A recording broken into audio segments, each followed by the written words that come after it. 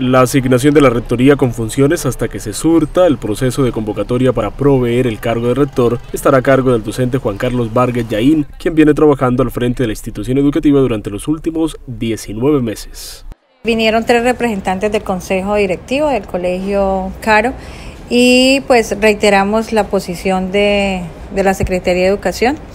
Eh, hicimos referencia a la importancia de sentarse a hablar eh, para llegar a, proponer y eh, tomar decisiones y acuerdos.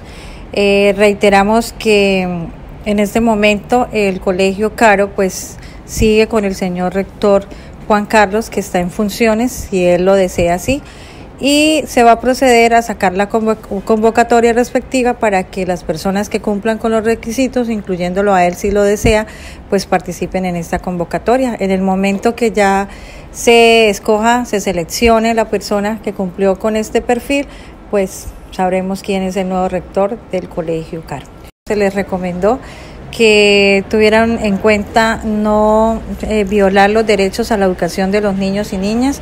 Lo que se exponen a sacar en estas marchas a menores de edad es una gran responsabilidad, eso ya lo habíamos nosotros ya nos habíamos pronunciado y reiterarles una vez más que antes de cualquier otra situación, pues la Secretaría de Educación es de puertas abiertas y está atento a escucharlos. Esta decisión se tomó en reunión con representantes de la institución educativa en la ciudad de Cúcuta en la oficina de la Secretaría de Educación de Norte de Santander.